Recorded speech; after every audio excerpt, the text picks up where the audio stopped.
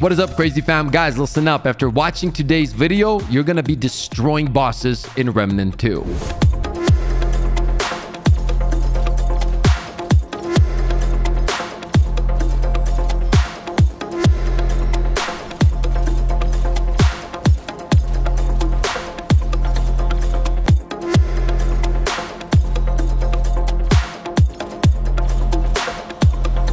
There are three things that puts this DPS build into a league of its own. Number one, high damage. Number two, deal weak spot damage no matter what kind of enemy you're fighting. And number three, mastering the rotations. And we are going to talk about the rotations separately, and I will show you guys how you can increase your DPS. But first, let's break down the build. So why is this weapon so good? This is the only weapon in the game that can turn any boss, all of the boss, by the way, into a huge weak spot. So as long long as you're playing it right, you're consistently dealing weak spot damage. Now, in order to make this whole build work, there's a few things that we're gonna need to combine. The first thing you're gonna be running on the weapon itself is the supercharger. Increases charge speed for bows and fusion rifles by 30%. That's huge. And on level 10, charged primary shots of bows and fusion rifles gain 15% critical chance. So you pretty much have that up all the time. Now, for all the people that don't know how this weapon works, it's pretty simple. As long as you have the mod, you activate it, and then you have three swords that rotate around you. And every time you perform a melee attack, you will launch one of the swords at the enemy, turning them into a huge weak spot. We're going to be combining the Hunter's Shroud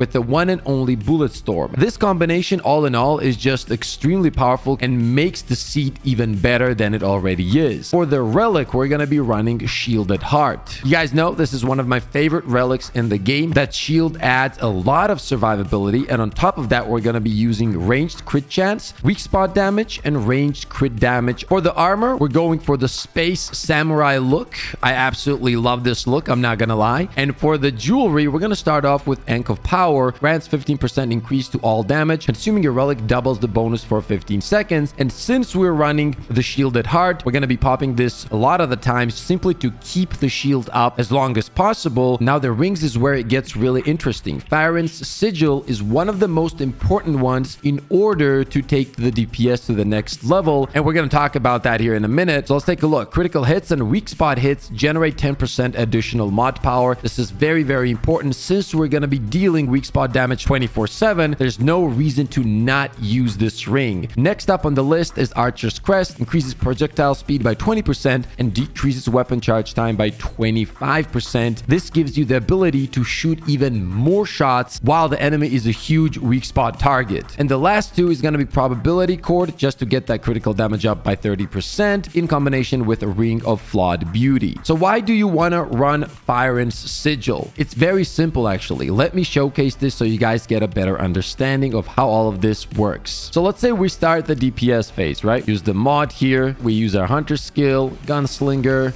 we throw the mod once, boom, and then you can start DPSing. This is usually what people do, right? The problem with this is that you're to fall off on DPS because of the reload that is happening. So in the first burst DPS phase, if we can find a way to skip the reload, that will up our DPS by a lot. Now I'm to show you a tip that makes that actually possible thanks to the Faerin's ring. So what you want to do is instead of throwing one sword from your mod, you want to throw all of them. And the reason is very simple, guys. Thanks to the ring and the amount of weak spot damage we do, we're going to be charging our mod up pretty much right away. So as soon as you're done with your six shots, you can reload your weapon by activating the mod once again. I'm going to pop my mod. We're going to throw all of it. Start DPSing. Mod is back. We pop it again and just keep going.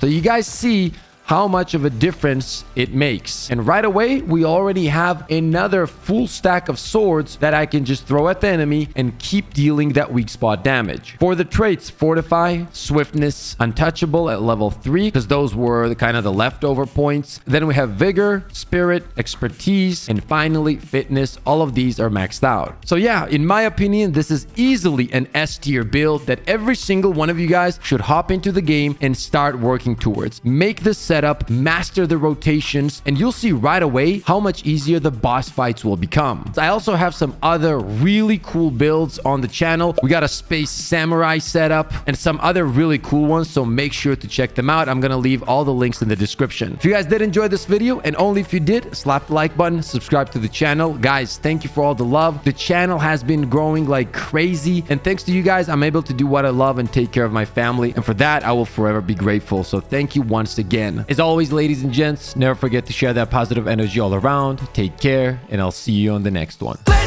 go! Let's go, baby! Let's go! I mean, we literally have the best community of all time. Oh! Oh, he got no scoped.